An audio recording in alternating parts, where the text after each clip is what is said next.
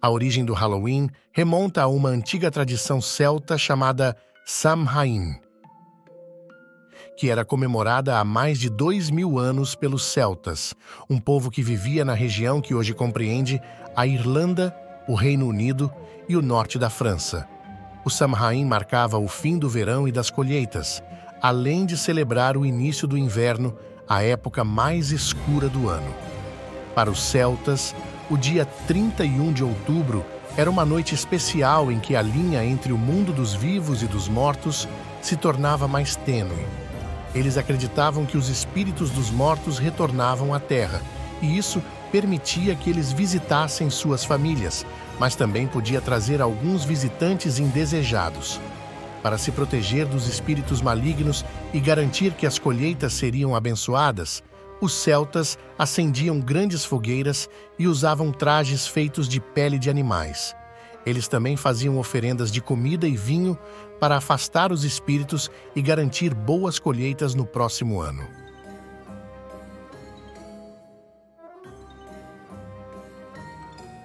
Quando o cristianismo começou a se espalhar pela Europa, a Igreja tentou suprimir ou transformar muitas das festividades pagãs, e o Samhain foi uma delas. No século VIII, o Papa Gregório III declarou o dia 1 de novembro como o Dia de Todos os Santos, também conhecido como All Hallows Day.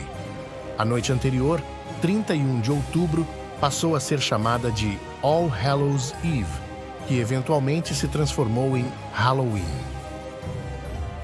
Muitas das tradições modernas do Halloween como fazer lanternas de abóboras, as famosas jack-o'-lanterns, se fantasiar e pedir doces ou travessuras, surgiram a partir de antigas crenças e rituais. As jack-o'-lanterns originaram-se de uma lenda irlandesa sobre um homem chamado Jack, que enganou o diabo e acabou condenado a vagar pelo mundo com uma lanterna feita de um nabo esculpido. Quando os imigrantes irlandeses levaram a tradição para os Estados Unidos, começaram a usar abóboras, que eram mais fáceis de esculpir.